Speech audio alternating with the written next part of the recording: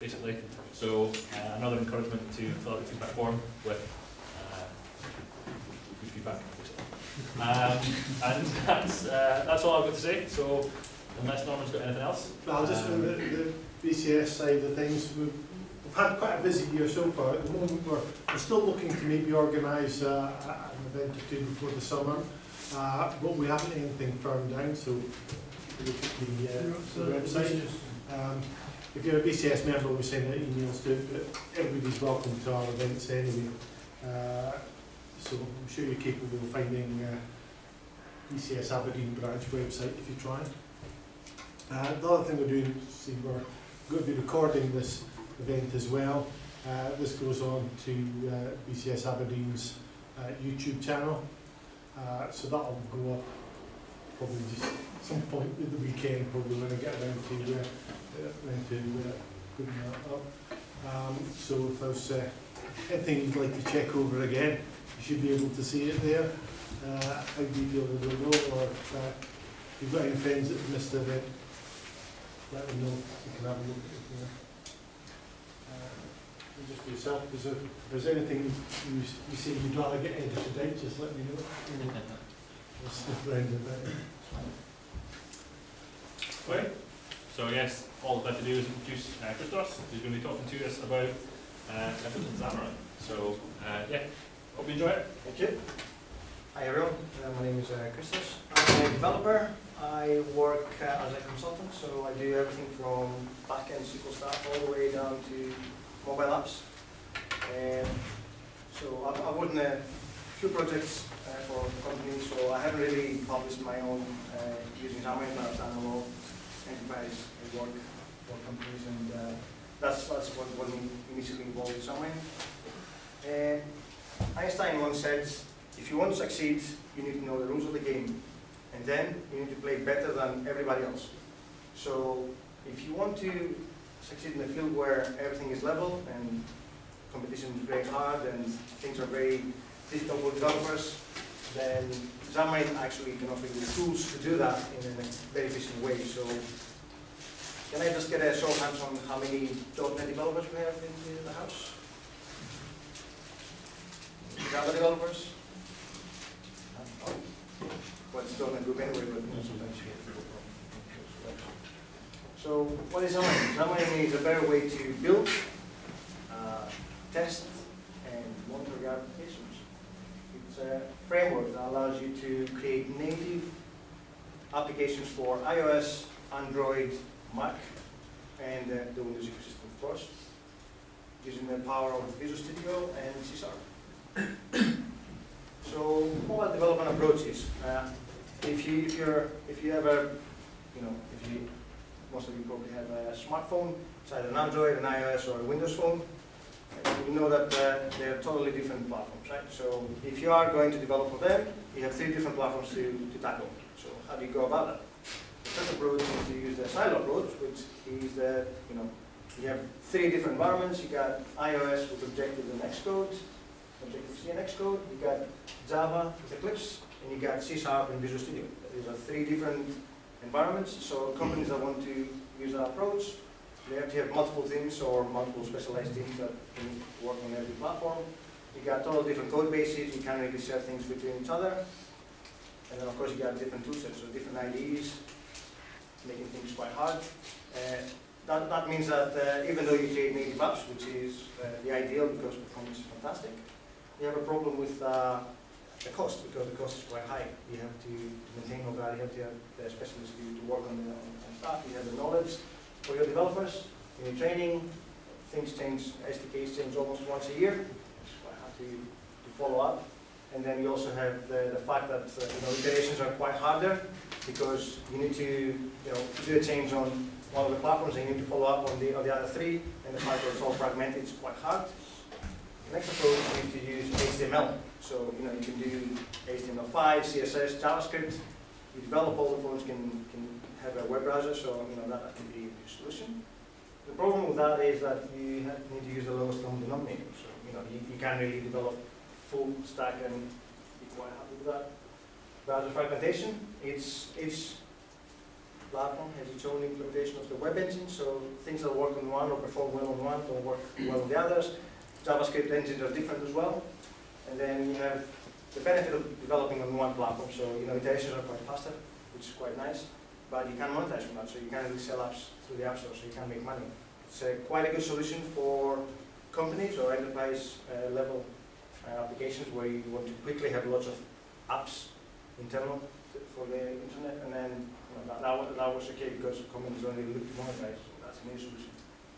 Then you have uh, Xamarin's approach, where you actually end up with uh, the following stack. You got Serve C Sharp code base, which is fantastic. You can write all your business logic, file interactions, databases, API calls, cloud interactions uh, on C Sharp. And then you have the iOS specific UI coding it, so the front end stuff, which is a thinner layer because it's very specific. You got the Android uh, C Sharp UI, again, that's like if you C Sharp. And then you got Windows Windows C Sharp UI, which uh, targets the Windows ecosystem. The good thing with that that you get native performance.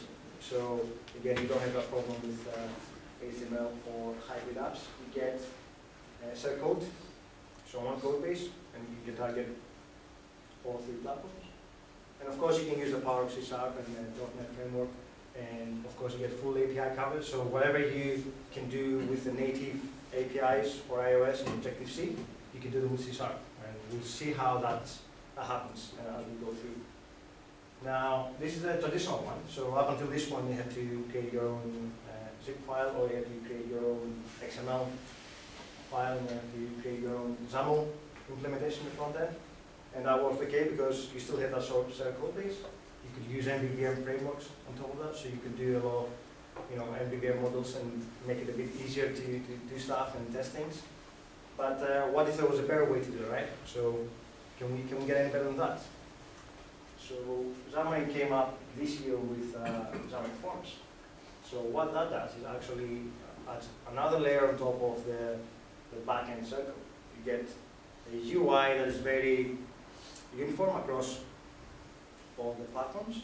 So you write once, so you, you only have one file that defines your, uh, your front end uh, uh, UX, and then you only have a very thin layer, very specific application specific code on this platform. So you, you still need an iOS project, you still need an Android project, and you still need a Windows project within your solution.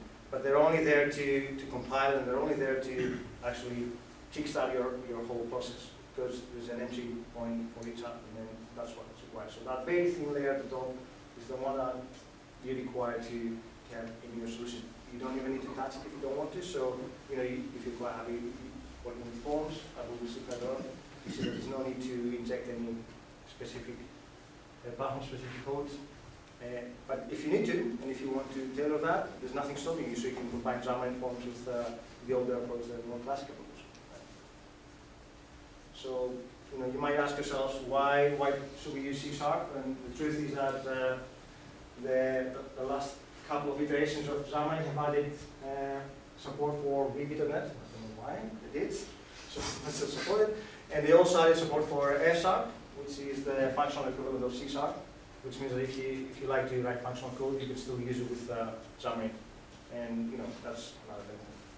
Now, C Sharp, right? C Sharp is awesome because of lots of reasons. First of all, you got LINQ support. Not many languages support that. I mean, Java guys see LINQ and go, what?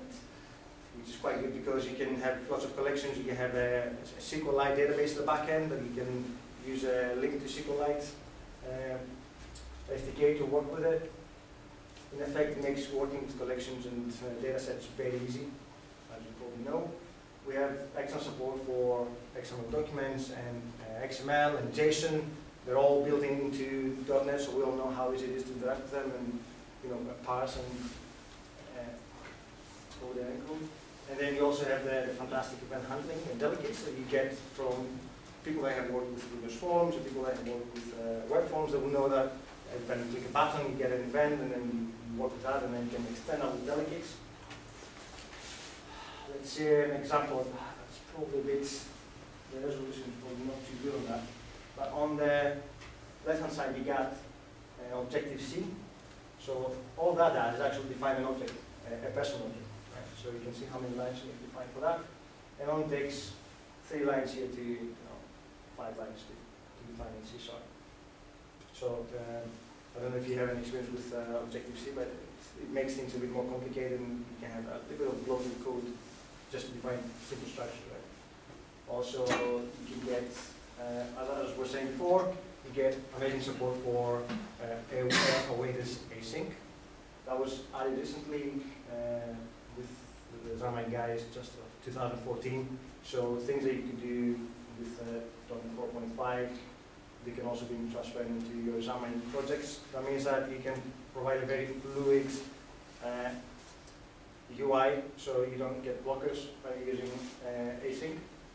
You can, you can achieve the same with Objective-C, but they, they rely on callbacks, so that has been more complicated when you work with uh, these things. And I think JavaScript is also, uh, sorry, Java in Android is equally as complicated. Right, so the difference with uh, Android, uh, again, the resolution is a bit too low, but uh, you can see that the the code is a bit harder to read uh, with regards to creating just a, you know, just a, a click. So if you have a list view and you select one item, when you click on it, the code on the left does that, and then the code on the right, it's quite a bit more simple. But what you can also do is you can add async await, and then things become even more fluid and more responsive when you work with, uh, with objects on your view. Also, C Sharp runs on a large number of devices. There are almost uh, 2.5 billion devices running C Sharp, and that you know, can be extended in you can add F sharp and uh, can add VB.NET. So there you go. So how, how does uh, Xamarin work? Um, the guys at Xamarin started really early in 2000. They, they took the, the Mono uh, repo, which was the, the open source .NET uh, framework, and started working with that, trying to, to make it do the things that they want to do. So eventually they owned most of the, the Mono development, and then they, came up with Mono Touch, which was the early precursor of what we have now. And the idea was that uh, as soon as uh, the iOS stuff started coming out, they thought there might be a, a good way to, to create bindings between the iOS SDKs and the Mono. So what they came up with was a solution where you get your usual stuff that you get from .NET, so you get full network framework support system.net, system, system.io, system.linq, and system.xml. You get system.security if you want to do encryption stuff or things like that. So there's a great variety. I think almost about 7% of the .NET framework can be used with, um, with Xamarin. So there are things are very specific to like uh, system.web, which doesn't translate to anything with web, but anything that can be used on the phone has been uh, added. And then what they do say for the Windows phone, you have the, the Windows API specific stuff, so that by creating one, one project, you can speak to all these, use all these APIs. So the top half is the, the device specific stuff.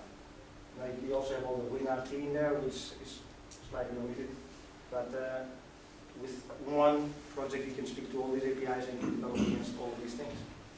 For the iOS stuff, you have the, the bottom half remains the same, along with all the 7% of the .NET framework. And then you have all the UI kit, which is the main uh, component of what you use for the iOS development.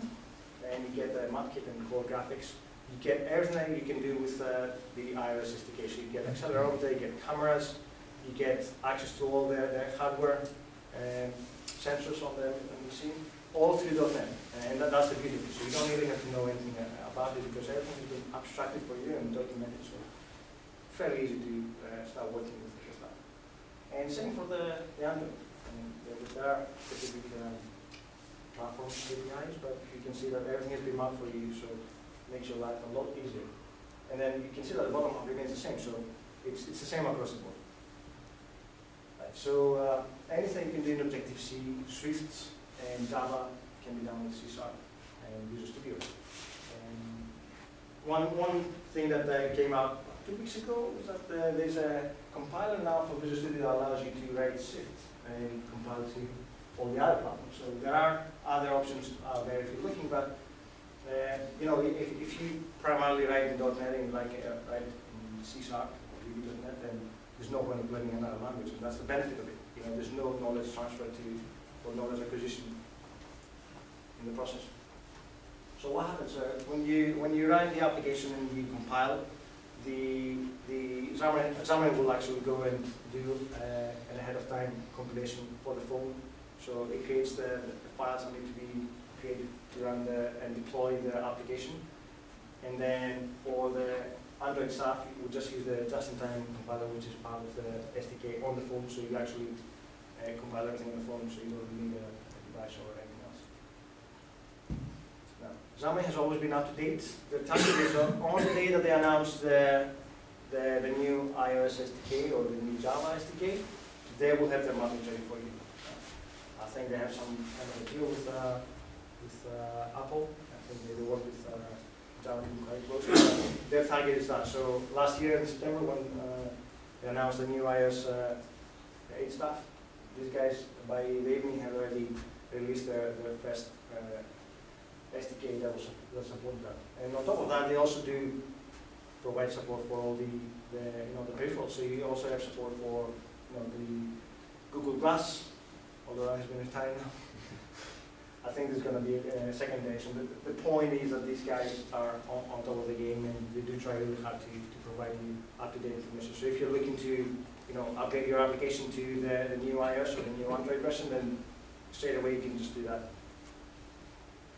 Uh, setting. Now, there's there's different techniques to do that. In the in the old scenario where you had the, the separate UI elements and the, the shared code base, there, there was an option to, to, to go beyond, say, you know, 60% by using MVVM uh, frameworks like MVVM Light and MvvmCross, and that was quite an easy way to, to get all the way up to 75%. But you still need to write all the uh, UI specific stuff uh, on the target level. Now with the, the, the Forms, you can almost set up to a 90% coverage. Now, uh, it's no coincidence that Windows 7 and Windows 10 have the best coverage over here. Uh, but there's nothing stopping you from releasing one simple app that doesn't really do much in terms of uh, functionality. For example, if it's not a game, in that case, if it's just a text-based application, you can easily write code that doesn't involve any uh, UI-specific stuff for the target platform. So in that case, you can almost say you can get 100% coverage without doing anything. And once you start getting things a bit more complicated, and these guys, iCircuit, which is uh, an application that uh, helps you track your uh, performance when you run and when you cycle, they manage an average of 90% coverage, sorry, an average of about uh, 85%, which is pretty good considering the fact that you write once and then you develop, uh, you, you know, you run everywhere. So, there are different options to, to that uh, functionality. Uh, At, at the moment, there are two ways, to, well, three ways to do that. The first way is to use uh, the Xamarin Forms uh, portable library, which uh, allows you to to write stuff across the, so that you have one project which has all your UI code, and when you run, when you execute on the, on the phone, you compile that project to your Windows Phone application, and that, that goes with it, and same for the iOS. You have the option to have a shell project, where you need to use conditional if statements, so if it's Windows Phone, then do that, if it's uh, iOS, do this, which makes it, things a bit more muddled, but um, you know, if, if you already have that as part of your migration from the previous um, setup, then that works quite nicely. And then you have portable class libraries, which are it's mainly a .NET and not a, a Xamarin specific uh, library where you put your code. Uh, there and then you can have just be shared. The problem with that is that you need to use the lowest common denominator. So if you target all the frameworks, so Android, Windows Phone, uh, and iOS, and say Mac, if you want to do that, because you can use Xamarin for that. And in that case, there's a set of libraries that can be implemented, and there's also a set of libraries that won't work across the board. And that's the problem. If you, if you want to do complicated stuff, then PCLs don't really cover that. NuGet. Now, um, Xamarin uh, worked quite hard at work to, to get support for third-party uh, components and develop. So anything that you can do in Visual Studio with NuGet, you can almost transfer to the, uh, the, the application that you're writing. So uh, any package like JSON.NET, um, uh, any, any XML libraries you want, any, uh, like one of the things that was quite big was the DCL stuff that was out recently, and that was that came down as a as a media package. And you know, that, that gives you a whole list of things that you don't really have to implement yourself when you write stuff. And that, that's a big help and speeds, speeds the process up. Set projects, I'll talk about that briefly. So the idea is that you have either a, a portable class library forms, portable class library, which includes all your UI. You have a set project where you use conditional if statements, and then you can have the, the PCO, which is a, simple one. Uh, Development environments, uh, there are two ways to develop for Xamarin. So if you're on the Windows ecosystem, you can use your Visual Studio. You don't have to change anything. That takes advantage of all the, the tools that you might have, like debugging tools, ReSharper, any third, third-party add-ons that you work on your day-to-day basis, they, they can all just be used for um, Xamarin. So it's fully supported, which is quite nice. There are unit tests as well, so you can have your unit tests as part of the, the mobile application uh, solution. Now, if you don't want to do that, uh, which you know might might be uh, kind of right now, there's no really uh, good reason to not use that because there's a community edition of Visual Studio, so you don't really have to pay anything. In the past, the Express uh, versions were not supported, so you can really do that. Now, with the, the full version of uh, Visual Studio being released as a community edition, can. And It supports everything from Visual Studio 2010 all the way up to 2015, and even though 2015 is not really out, it's still supported, so you can actually start working on that if you are really adventurous. Uh, the other way is to use Xamarin Studio, which comes free with your account. So if you're on a Mac or on a Windows machine, you can use uh, Xamarin Studio. It's a bit more simplified. Uh, it's a simplified version of Visual Studio. It's still quite powerful though, so there's no limitation there. Limitations on what you can do. The IDE is slightly different, I can show you how that looks like. And you still get a, the media package support, so you can still do things up, but you don't get tools like, um, say, ReSharper. They do have uh, built-in support for repos, so you have a GitHub or some version, they support both. Visual Studio integration, as we saw. Uh, oh, sorry, one thing I didn't mention before for the Xamarin Studio is you get one benefit from that is that they have their own designers. So when you develop for Visual Studio, you don't really have a designer to see how your application looks like. So you have to run it and see what, what it looks like in the end. Whereas with uh, the Xamarin Studio, you do get a designer so you can drag and drop stuff, and then you make it a bit more visual. So it, takes a little bit more time to, a little less time to, to reach your final UI uh, look. So Visual Studio integration, so fully supported iOS, Android, Windows Phone, Windows Store on, on, on the platform. And then you get ReSharper, Team Foundation, and um, NCAPRA if you're doing uh, code coverage. With, uh, so also when you install Xamarin Studio, install a number of uh, toolbars for your uh, ID, and that makes it a bit more easier to check the logs, start the machines, uh, and choose the, the emulator if, you, if you're working against an emulator. You don't need to own the device that you're testing against. Still use all the emulators that come uh, with the installation. Xamarin Studio, again, it's, it's, it's advertised as being optimized for cross-platform development, and, and it truly is a, a cross-platform development ID. Uh, it provides the, the ability to, to start digging in through the SDKs and seeing what they, they have to offer and what kind of implementations they provide. World-class Android and iOS designers, and that's really true because uh, if you uh, if you ever had to use the iOS designer in Xcode, it's absolutely appalling and it's very cramped, lots of toolbars, and it makes it really, really hard to work with. Uh, and the Android uh, designers were also equally as bad. I don't know why they've done it, but it's quite crippling when you have to work with uh, these tools, whereas they have some really good designers on the Xamarin Studio, which is one of the benefits that I like to jump from one machine to another when I I do the development. It it makes it a bit easier when you do the UI stuff. And powerful debugging and simulator on the device. Again, on both on both IDs you can connect your either your um, device if you got an iOS phone, or you can connect your you can use your emulators. The, the benefit with the emulators is although they're a bit slower, you, you can see at least how it looks like from iOS 5 or all the way to iOS 8. Or so, so you don't have to be physically on the device. Again, um, really good um, designers in drag and drop stuff. You can target multiple devices as well, so they have a, a whole host of uh, layouts that you can use. Think they had a, they did say there's almost about 2,000 different device setups that you can actually uh, have to test against when you develop Android, so that, that's a bit of a challenge.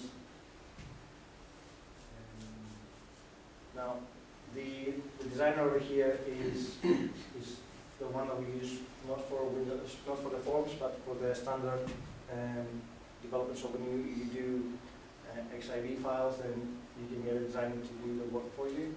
Again, it's a lot more performant than when you were working, if you were working with Xcode. So uh, it speaks for itself, and especially if you're running the new difference in performance. Uh, Yep, true. You can build uh, apps a lot faster. And what they've also done is there's a component store where uh, third-party companies can go and drop stuff.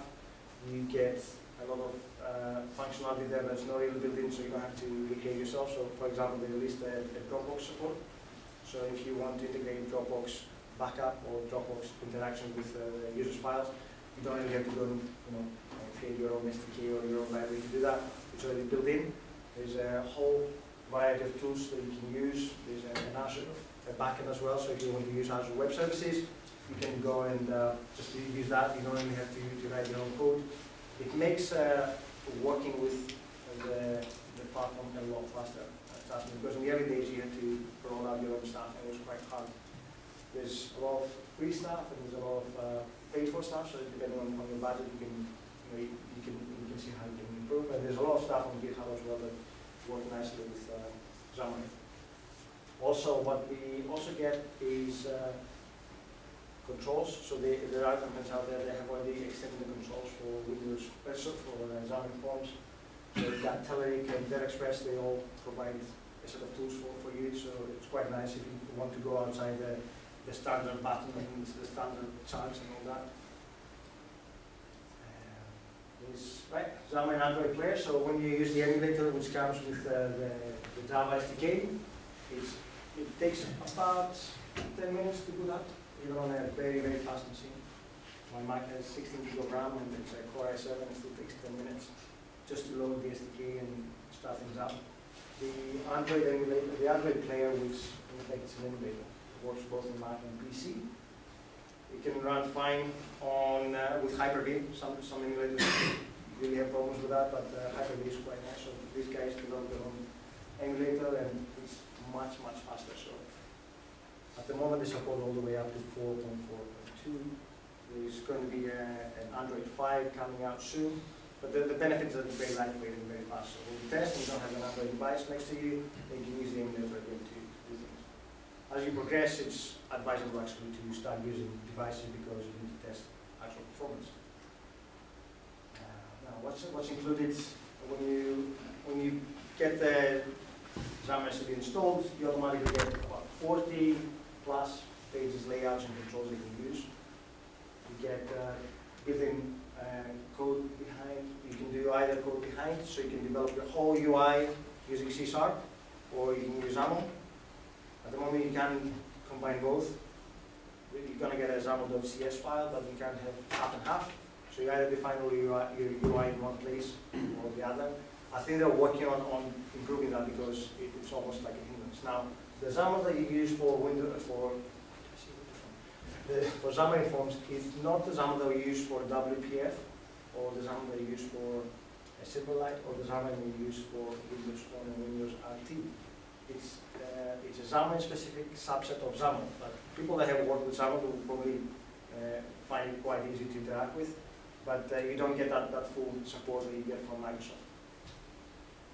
Things are progressing with, uh, with uh, .NET 4 coming out and with uh, the new stack of XAML uh, being optimized. I think Xamarin are working uh, to find a way to, to bring all that together. And also we have the, core uh, .NET being released as an open source. Uh, I think at some point Miguel de Icaza, who is the one of the founders of the Xamarin platform, and he did say that although it's early days, they are working on a way to find uh, a middle ground between the current stack, which is based primarily on the monotouch, but it's not really supported by Microsoft or enhanced in the community and open source um, .NET Core. So going forward, we'll see a lot of improvement in the way that we write and the way that we write C within or within Visual Studio or outside Visual Studio.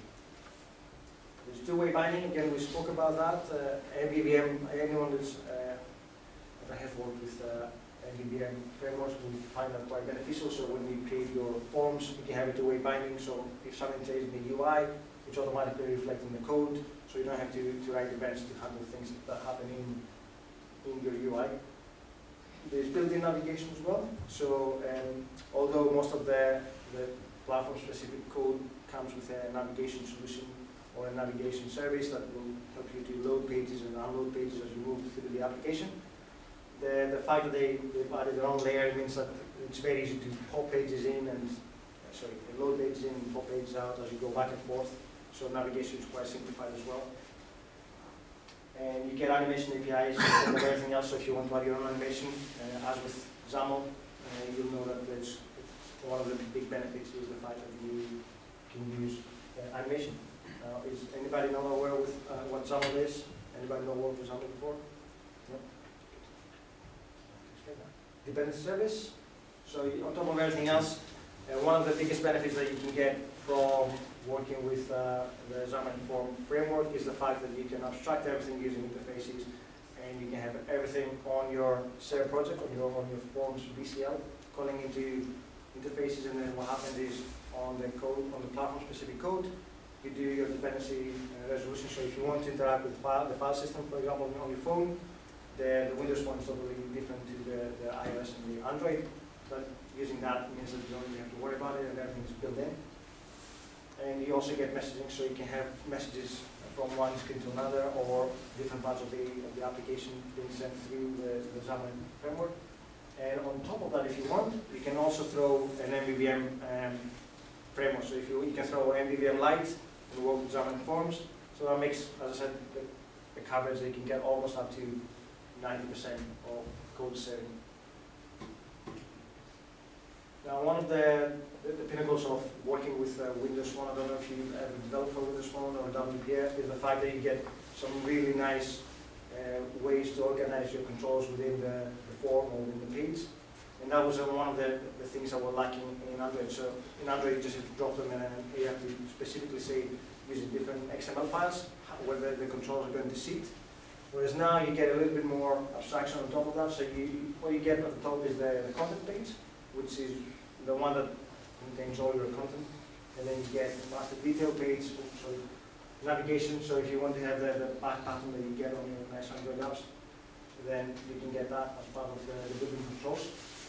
You get tab and carousel. Now you might ask, you know, there's not really a tab solution in, you know, in Windows phones. So how does that translate? The idea is that the Xamarin Forms translate to the underlying uh, iOS, uh, sorry, underlying OS implementation. And that means that if you have a button that uh, you define in, in, in Xamarin Forms, then when you render it in iOS, it will look like a native, it will actually be a native button, it won't look like a native button, it will be a native button. In Android, it will be also a native button, and in Windows Phone, it will be a native button. So for the tab uh, option, for example, what you get is uh, for the, the Windows, for the iOS, you get the, the two uh, options. So if you have two, two tabs, for example, you have two options at the bottom, which look like a button. On the Android, you get the top one, where the, the tabs tend to reside. And on the Windows phone, you get the, the panorama, so you have the different page views that you get. So the, the two views, you just scroll to the right, and then you have the other one. So that translates to the native implementation, and you don't have to worry about that, which is the biggest benefit. Now, on top of the, the content pages, you also get the organization of your controls. So you can get stack, which is fantastic. You drop your, your controls in the stack, and then you say, I want spacing of 20 uh, points, and then that will translate automatically to the underlying solution. So you get a nice stack view. You can have horizontal stacks and vertical stacks, and so on. You can have absolute positioning on your views, relative. So depending on your screens, if you only have a fluid design, you can have relative uh, uh, uh, control to, to put them in. You can have a grid, which almost emulates what we have on the Windows Phone, but it's quite nicely translate that to underlying iOS. Scroll view, which is quite big, and when you have big lists and you'll display them, and then automatically you just drop them there, and then they'll take care of the scrolling up and down. And a frame if you want to have a, a sub control with that. Now, one of the benefits is you can have stacked um, controls. You can have, a, say, you can start with a stack, and you can say, I want an absolute um, view within my stack view, and then you can say, you know what, I want also scroll view within my, uh, it's complicated, but it's a scenario that you might, you know, want to explore for your. But remember, you're not only targeting phones, you're also targeting tablets, and you can also target um, macOS uh, implementation. So all these work across the board. And then on top, uh, at the bottom, we have all the, the individual controls. So activity indicator, if you ever try to open a page or something that takes a bit longer, you'll get the, the spinning, the spinner or the, the nice line that goes across on the Windows Phone. Then you don't have to worry about how that gets implemented. Just drop it on, on your view, and that works automatically. Uh, right. So that's a very small example. So we'll, we'll run a demo later on to see how that renders. But the idea is that you write once and then it runs natively to for the underlying uh, OS. Single API and generates everything native. Uh, extensibility, there's nothing stopping you from you know, taking the controls and embedding them into your uh, custom uh, implementation if you want to, so you can extend stuff. There's nothing, uh, everything is, everything can be extended. So you can uh, derive from uh, one controller and make it do something funky. But the idea is that you, you don't really need to, have a mind frame, oh, I'm actually using Windows, Phone- uh, sorry, Xamarin Forms now, so I can't go anywhere with that. You have the option to, to start with Xamarin Forms, and then if you see something that doesn't really fit nicely, or performance is not as good, or you need to do something that's not really supported at the moment, then you can also fall back and extend your UI by using the, the native support.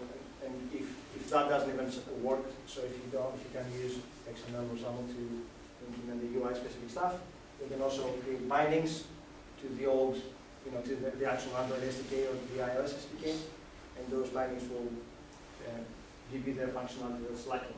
So it's an extensible framework, to that.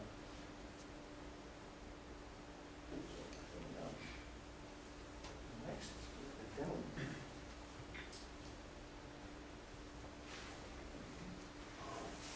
Any questions so far that uh, you guys might have before I go into the demo?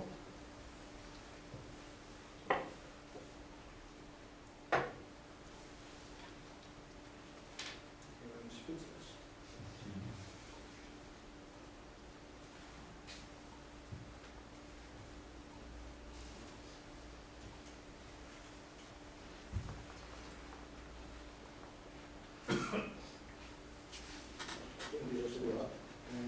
I've got a question. Yes, go How on. much was the licensing terms? I'll get into that in a moment, but if you want me to cover them now, um, there are four tiers on the Xamarin platform. There's the free, the free solution.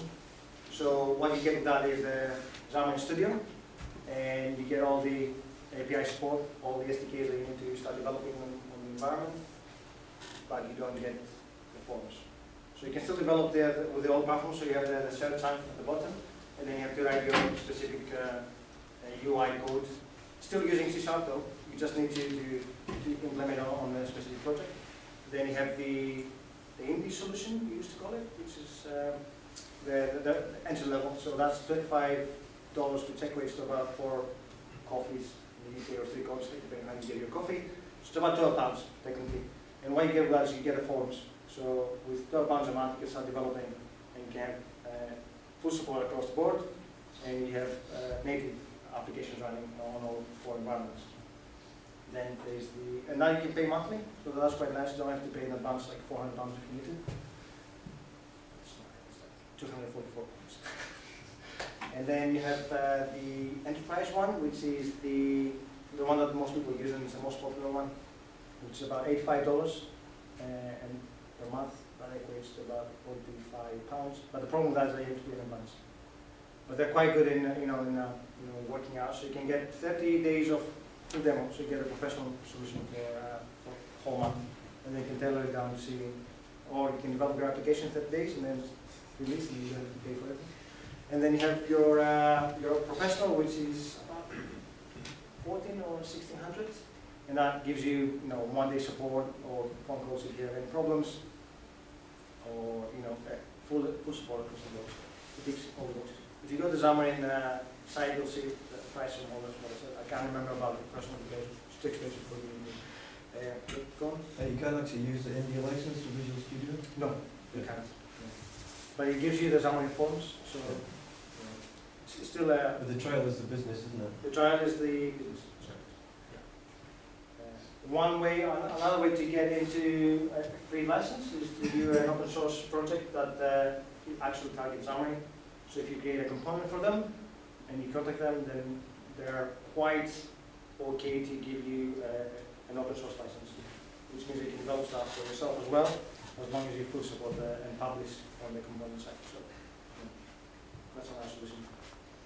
Uh, One question, sorry, so just keep interrupting, sorry. that's fine, that's fine. Is it possible to use Visual Studio and Xamarin Studio on the same code base, or do they interfere with one another? No, no, it's absolutely fine. Yeah, so if you get one, one developer working with Xamarin Studio and with Visual Studio, the solutions are exactly the same. Okay. There's only one caveat. On the Xamarin Studio within the Mac, you can see the, project, but you can't edit anything for the Windows stuff.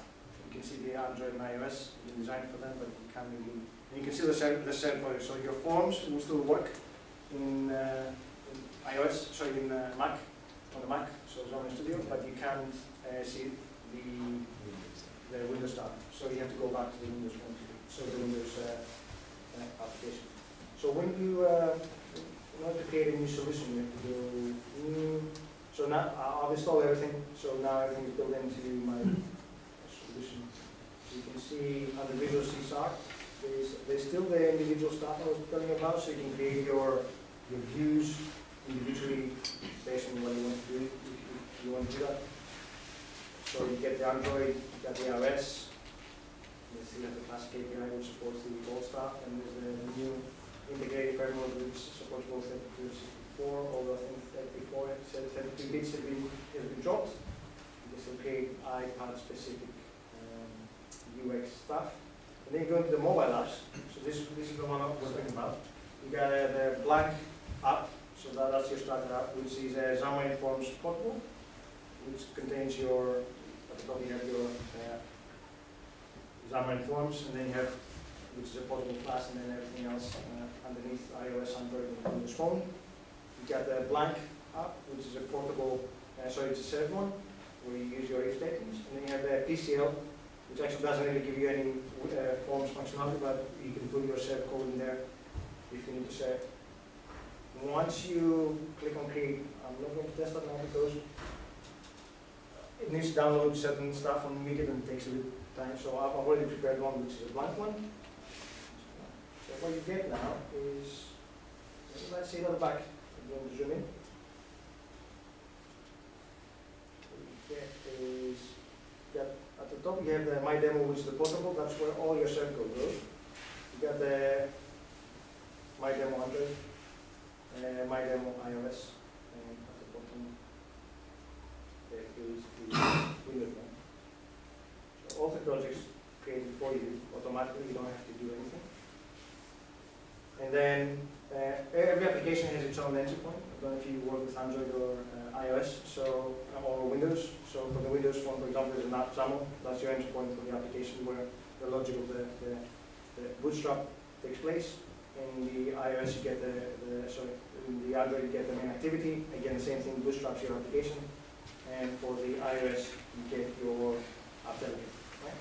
So you don't have to worry about them. You don't have to do any logic in there because as you see, the the shared code comes with a nice AppCS and that targets all three frameworks. So any code that you put in there will, will, will get bootstrapped, bootstrapped as part of your uh, build solution. So as you can see here, there's a main page, which is our starting point, and then we have the content.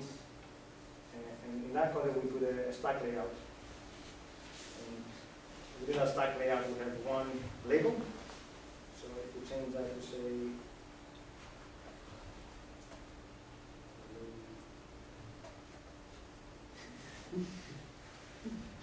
What should we cut? Load it in, save that. So, what it, uh, we'll do, we'll do an iOS first, so we choose the iOS iPhone five, iOS eight, I don't have that with me, it doesn't work anyway. So what happens now is uh, the only only caveat to do iOS stuff is that you need a Mac, right? Everything else can, can be done on, your Windows machine and it will work absolutely fine. But for your iOS stuff, you need to get a Mac. And the Mac in this case it does is that there's a linker between the two machines and that says, I'm building for iOS. Just go into the Mac, build it over there. So you need, uh, you need Xcode for that. To? So that. And then what happens is you get There you go. So it brings up a nice emulator and then it displays your, your content. So for you to, to work on the iOS stuff, unfortunately with the Mac OS stuff, So can we see the climates flowing up the face of El Capitan? uh, so in order to, for you to develop for the iOS and uh, iPad and Mac OS, you need a, There are different solutions to set up. Some people like to work on the on the MacBook Pro. They create a VM, so they run their Windows within the VM and then they create that linkage so you don't have to have two different devices. The other option is to buy a free second, well, a, cheap second-hand uh, Mac Mini Pro because technically your Mac is not going to be doing any heavy lifting other than just compiling and stuff. So you can get a four or five year old uh, from eBay for about 1800 100 quid and that will do the job for you so you don't even have to, to spend too much money in, in getting that set up. But you need the two. For everything else you don't need it. So, so that's running on the iOS. Let's stop and change it to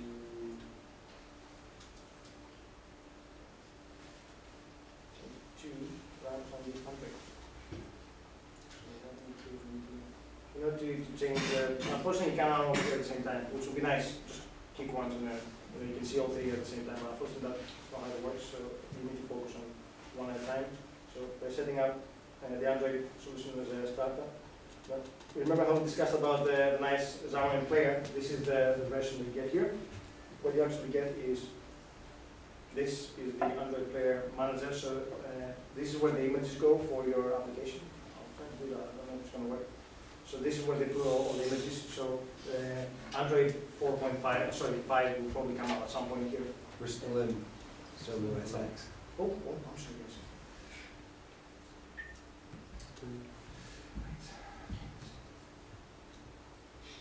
So, uh, this is your uh, Xamarin Android Player Manager. So you get the image here. Usually there's about seven of them, all stacked up, so you can target uh, all the way down to four. But they have different uh, resolutions, so you can at least see how things work. And I think they're working on, on a way to, to get more uh, images from the community to, to be added here, so you don't really rely on them publishing stuff. And you just have to press play. And what that does, actually uses a, um, a VirtualBox. So you use a VirtualBox to run and, and uh, actually an uh, VM for your Android. So technically it's a, it's a VM running without data with, uh, within your solution. And the good thing is that doesn't really interfere with Hyper-V. That's a big problem for Windows 8 devices. that with that. So this is your play over here. So we just go ahead and just click that.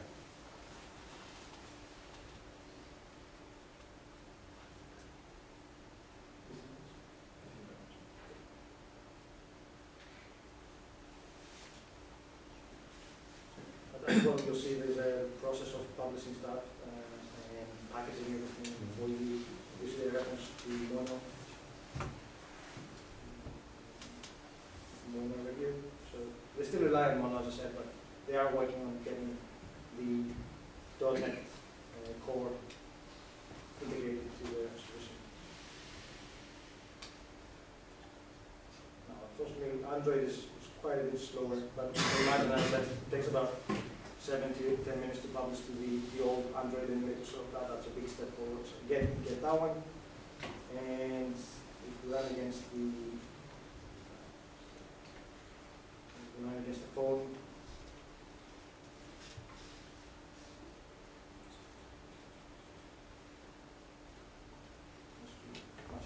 Again, you can choose emulators or you can choose your own um, device and get all the, the tooling at the top as well which you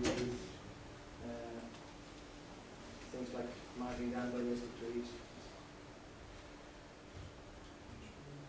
One, plus, that's here. Uh, wouldn't be much of a to trees. So let's So this is a very simplified solution, get everything you need, but that doesn't look quite nice.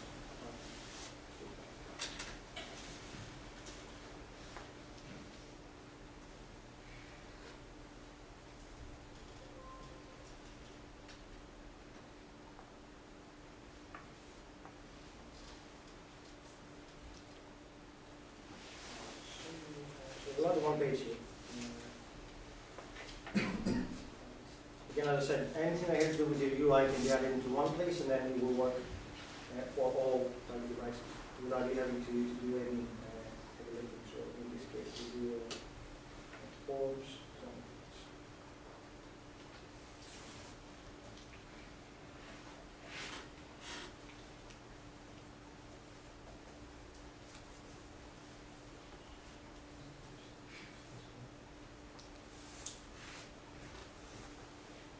Of course I trust you. Why shouldn't I trust you?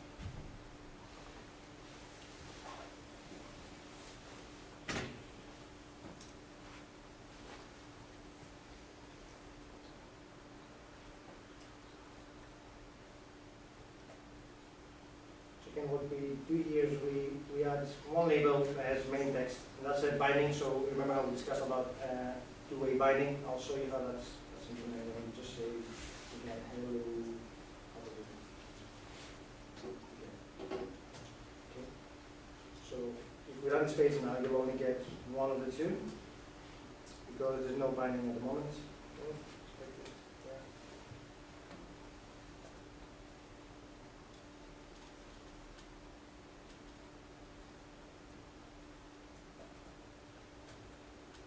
So what we say over here is we? So what we say is when the application starts running, just want to display the hello page, and you can put anything you want in there, so let's run that.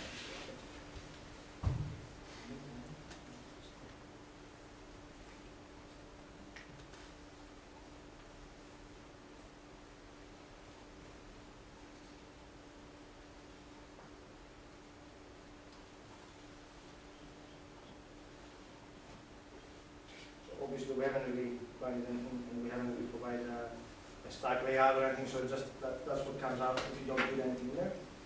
So let's go and some binding, so this should be uh, something display for the title. We do that.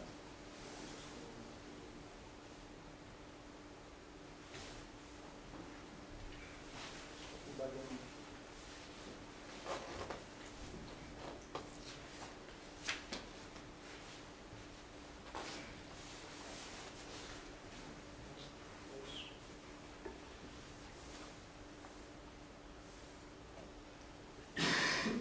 I is going compiled, but it's Disregard you.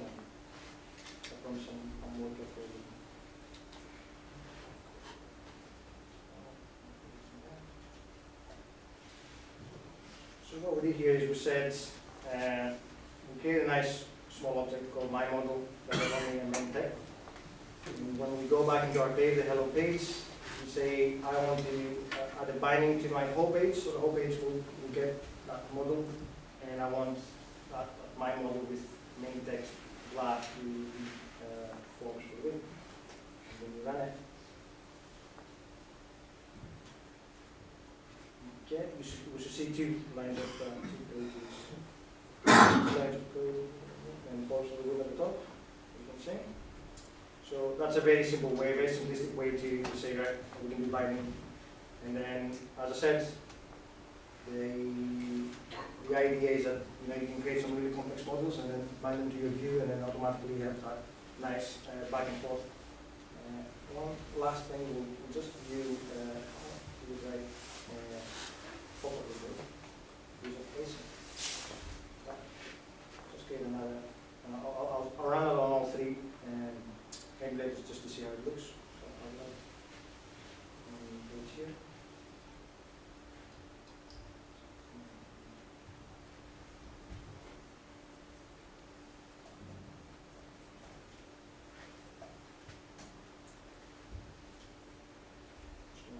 without anyone here, so I'm going to use that one, even though it will be blank anyway. Uh, the, this, this time I'll add the code in the back. So you, you see I can do it in XAML, and you can see how I can do it in, in the code behind.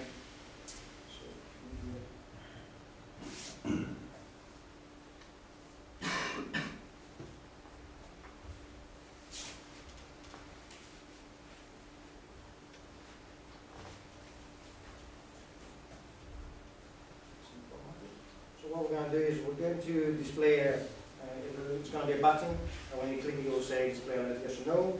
And when you click that back, it will, uh, so when you click on that, it will display uh, an alert saying, you know, so far, yes, no, and you say yes. Uh, Just need to change our endpoint to use the pop-up page rather than the web page.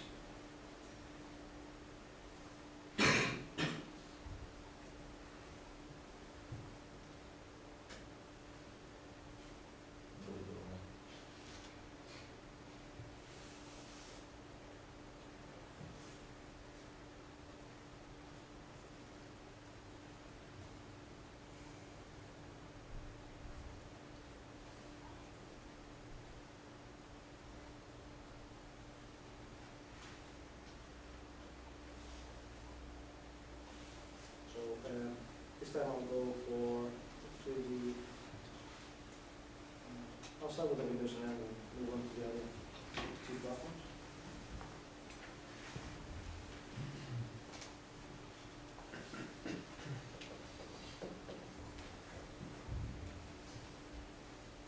Open the package, start application. Right, so you can see that this is the, the, the built-in uh, Windows pattern. Nothing really fancy about it.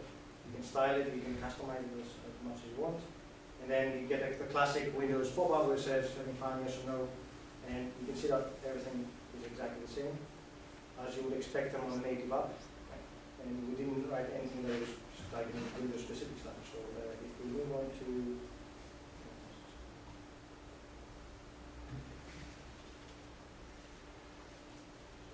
Into our Android version, and our and see what we get.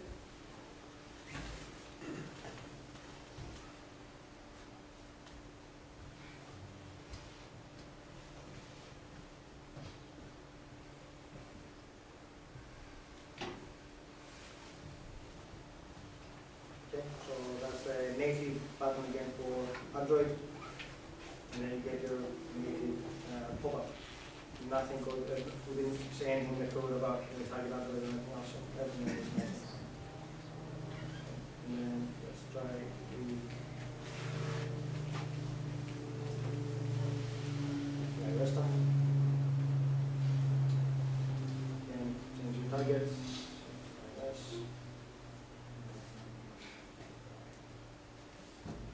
Do that. Fine.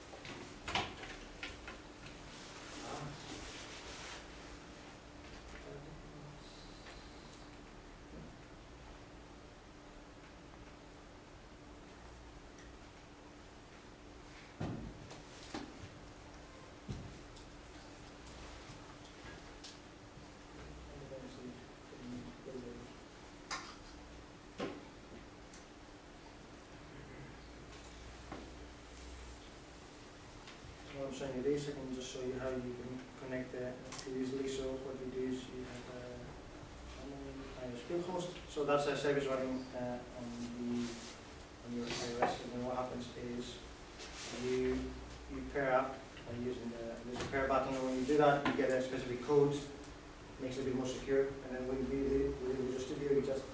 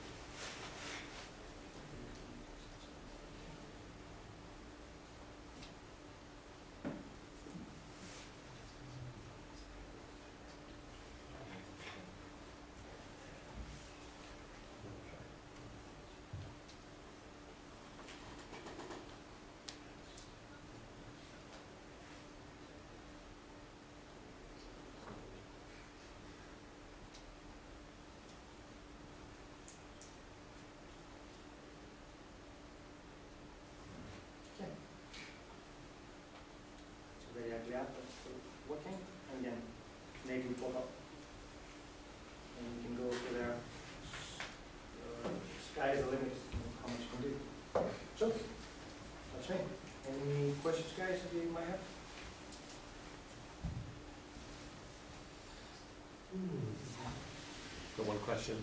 Um, do you just need one Mac machine in your network to service multiple developers, or does each one have to have their own Mac uh, No. for Fed? One, one is done. One's enough, thank God. Yeah. That'll be a very expensive We solution. can be out of business, yeah. Yes. Yeah, Just trying to sort put this thing in context. Supposing you, you want to do something where you're trying to program, you've got this phone, and at any moment you don't know when the user's going to something on the phone. Meanwhile, you've been doing something, some other process is, is going on, Yep. and you might be responding to some, some button or other, or uh, maybe some um, stream of voice that's, that's coming in that you're trying to pay attention to as well. Sure. So, who looks after all that? Is that, is that done in the bowels of .NET or, um, is, is stuff you've been demonstrating, it seems sort of, you know, a sort of top level thing that you're putting on the surface of Yes. something. Uh, how do you, you tell it you wanna, you know, let me know if, uh, some part of speech comes in, or let me know if something happens or whatever. How do you, how do you tell it does something? Sure. Uh, If you're, if you're wondering about application-specific uh, input from the users, by tapping a button or anything else, that's coming from within your application, right? Uh, If there's a phone call coming and you're, you know, you're using your app and suddenly there's a phone call coming, that's all handled by the, the underlying OS. So there's nothing that you need to code against it, there's nothing you need to do. So you, you There's a, there's a, there's a life cycle for the applications. Uh, Typically, what, what you get with most applications is start, uh, resume, and die. Technically, what happens is, or hibernate, right? So what happens is, as you get your phone call, your goes, your application goes into hibernation, to memory, and does things. So you do get a bit of time to sort things out. So if you're doing an web API call, or, or if you're doing something with a file, it gives you about eight seconds to complete that before it dies out and the operation dies in the background. And again, that's all handled by the, the phone. You still need to write code specific, so if you have a view model, for example, which is bound on your uh, UI, suddenly your application gets interrupted, you need to write, to write your own code to handle that and, uh, you know, use the underlying OS implementation to, to store it somewhere before it gets lost. So users can, when they resume, the point is that you as a developer, you're responsible to make sure that when they resume, they don't go back to the front page where they started the app, they go back to where they came from. And that's all handled through your code. But anything that has to do with uh, outside input, like a phone call or a text message, that's all handled by the OS. I saw this word alert appear at some stage. I mean, when this, very, very thin layer at the top, right. And That's the, that's the UI, and the OS UI specific stuff. So as I said, if you check in the solution, uh, this is where the app delegate comes, comes in, for example, for the iOS phone. You switch for Sorry. yeah. So, The app delegate. So you see there's a uh, mm the Again, this app delegate uh, is designed to inherit from uh, the Xamarin platform, so you there's a finish launching, and then we have a line here that says Xamarin Forms uh, in it.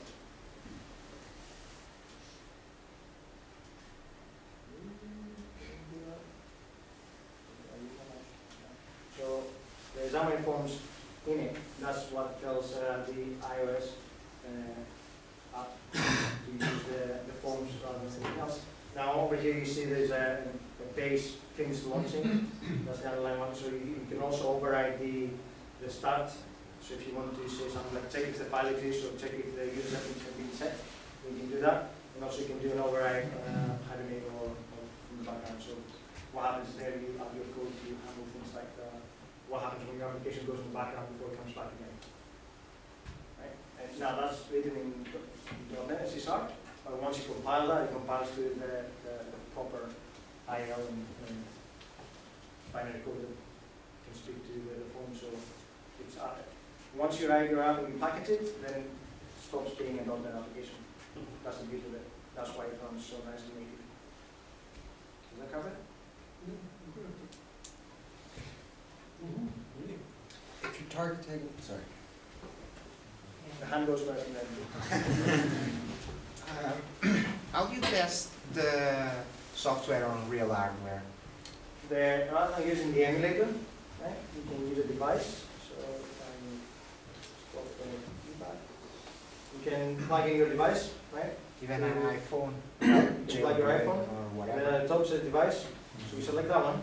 And anything you build gets packaged and automatically deployed to your application. So you need to, you do have an, uh, an iOS developer account, so you can unlock your phone and start working with it. Uh, actually, I think you can get the phone unlocked without the license, but if you need to publish to the, the marketplace, then you need your license for that before you package it, right? No, So I was talking uh, before you actually Before publish to marketplace, just Yeah. in the, Yeah, you just plug your USB as you would charge your phone on your, uh, on your machine, and then the Visual Studio will automatically package it and send you a device. Is Or iPhone, just- is plugged into the Mac at that point, or the Windows machine? Or does it not matter? No, it needs to be on the, on the Mac. So for the iOS, the Android can be plugged, or the Windows Phone can be plugged on the, the Windows machine. If you're going to be targeting a specific piece of hardware that exists on one kind of phone and not on the other, Yep. is that supposed to go in the kind of, we're calling it a kind of UI layer here, but is that, is it really kind of a phone interface layer or? or Yeah, would that's, that uh, that's the UI specific stuff, right? So if you are targeting different uh, phones, uh, camera sizes, if I switch back to the presentation, you'll see that the next page is actually.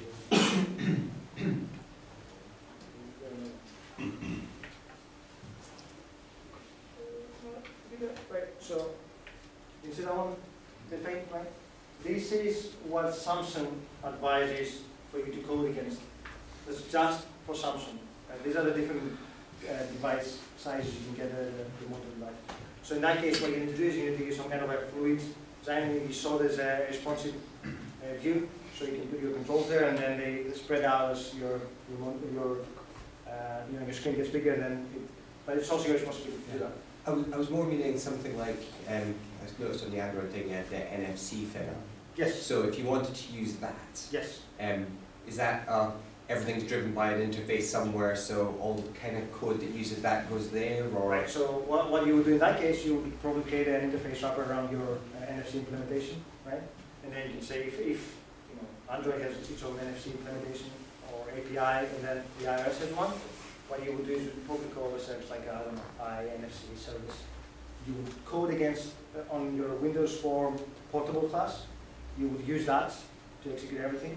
And then what happens is you use the built-in uh, dependency uh, injection and resolve it to, or you can use an MVVM Light, for example, which also has its own dependency uh, injection and IOC to just uh, run things on the underlying iOS or Android. So it, it almost abstracts everything. So you can work on, you can focus on your UI and your code that goes there. And then, as I said, in, in most cases, you might not even need to touch the, the underlying project that is target, target specific.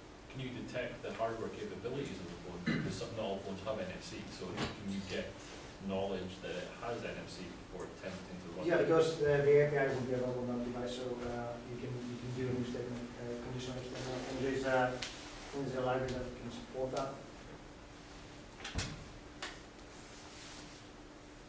Yep. If you want to, for example, integrate advertising on it, like you want to use iAd or you want to AdMob or something like that. If you want to use iAd, so we will be platform specific, so you will write that um, at the library under the iOS version of it. Yes.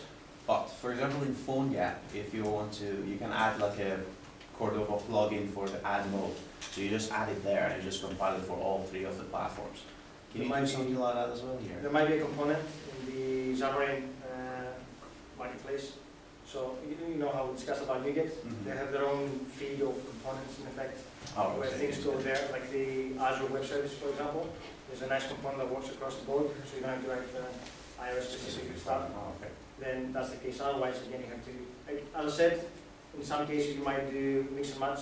You, you write most of your UI stuff on your self project, and then what you do is you, you write your iOS specific stuff or Android specific stuff on the kind of on the project. There's nothing stopping you doing that if the functionality is not there. It it doesn't have to be all in one place. Mhm. Does that make sense?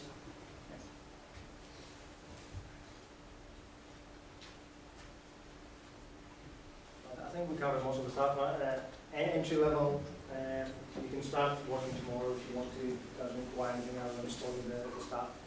Uh, the only limitation that you can have uh, Mac for your iOS and macOS uh, apps. You have size limitations. Sorry? You have size limitations because I heard that. Uh, There used to be a size limitation on the initial version, which was the free one, you had twenty-five meg of uh, compiled code. Uh, That has been lifted, so on the free one, you get less functionality, but you get unlimited size of uh, code. Again, again, you have to write massive app to have twenty-five, more than twenty-five meg of, uh, stuff. And maybe chicken, where you have to do lots of graphics and, uh, you know, put resources into your application, so images and stuff, that would take most of the size. But text-based apps, uh, or, you know, services apps, don't really take that much space anyway. But, yeah, that's been lifted on the free version, so you can use that. Is there, does Xamarin support like UI testing across the three? So, yeah, Write them in when you speak about that, now there's a, a a framework that they provide called Xamarin Test Framework. um, That allows you to create definitions of your test that you know, want to run. So you say, I want to run this application across fifteen hundred devices. So you define that in a portal, and then what happens is they have a massive array of VMs running in the background, and then they will test against every single device, they test performance, they test, uh, you know, how things look, if they render okay, and they report on all that. So the- it's not just functional testing, it's also UI testing as well. So if your button is off screen, for example, if you place it wrong, that will be highlighted. But the problem with that is it's fairly expensive, and there's no regression for What about your own automated testing, things like that? there's unit testing supported, so you can use the, there's an unit um, project that you can add to your uh, solution, so you can do testing like that. And if you use an you can also go almost all the way up to your, uh, before the view, so you can test your view models and commands and everything else, and you can get some really good indication how your, your application is going to work. There's also, Xamarin, Stu- uh, Xamarin University, so there's something you can enroll, and it's a paid for version, but you get almost like a one-to-one uh, uh, work. So you get, you pay for six months, for example, help you through your application and they take you through all the steps on how to develop your app. And another benefit that you get with uh, Xamarin is the monitoring tools. So you know, you might have to use Localytics or you have to get, use a third-party tool to add analytics, so how often your application crashes, uh, if you want to have custom events on, you know, how many times the users have gone into one view or another and use that platform or specific functionality. That's all built in with Xamarin, so when you get Xamarin Studio, you get that as part of the, the solution. I haven't really used it outside, so I can't really remember if it's paid for or not. I suspect that they might expect you to use some kind of subscription. But the benefits you get from the feedback of your application or crashes, so if something crashes quite often and the application says, oh, that's a crap app, at least you know why they're behaving like that, because most of the time you don't really get user feedback. And you can define custom events across the board, so there's a way to speak the APIs. And that all goes back to the portal, and then on that portal you have a, a nice view across your application, see how it performs across all the solutions, because sometimes you get analytics uh, libraries that don't work on iOS or uh, Windows Phone. Yes? How does, how does the payment model work? I mean, if you, do you have a, some kind of a, a runtime license, so if you export software that's based on Xamarin libraries and whatever, then you or somebody has to, has to make, make some kind of run, annual runtime license payment, or, or what? If you don't need to publish to the marketplace, and say you're writing an enterprise apps like we do, then you don't have to pay a license for it. Right? Uh, The problem is when you package it to deploy, then you have to. the- So the iOS thing is ninety-nine dollars, ninety-nine pounds. You get the, the license to be able to publish and get money out of it, or, you know, get downloads. And the Android, and the Windows Phone and Windows Marketplace are free for for the developers, so you So that's a one-off payment, it's not a. It's a yearly subscription. For the, i- for the iOS, for the iOS. The Windows Phone used to be, the Windows uh, developer license used to be annually again, and they made it indefinite, so can. There's presumably some kind of maintenance thing as you try to catch up with everybody keeping, changing their operating systems and changing their this system and that system. Do you have to pay for that, presumably? Well, I think most OSs are free, I think uh, macOS offers a free upgrade now, and the Windows 10 will also be coming as a free upgrade for the first year. And you don't need an Android OS to to stuff. You just need, if you want to test against devices, then that's one of the, the costs uh, involved because ideally you develop against the emulator in early stages, but once you get near the completion of the project, you really want to start testing against devices and, and ideally against lower devices, how your, your application performs. It depends on everybody's, the, whatever platform you've got supporting C sharp, basically, is that just kind of, um, as long as they support C sharp properly, then the Xamarin stuff will all run. Well, that's what we said now, so if you're on the Mac, right, you can use the Xamarin Studio and still write .NET stuff, Yeah. you don't really need to worry about it. Uh, with .NET Core being released, we we might see some more IDEs supporting uh, C Sharp on the Mac. And if you're on Windows, you can just use the, your Visual Studio or Xamarin Studio again to write your .NET.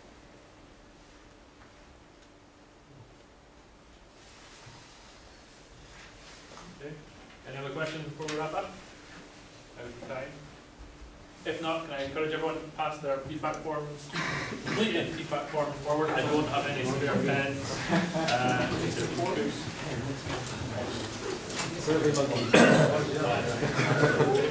One.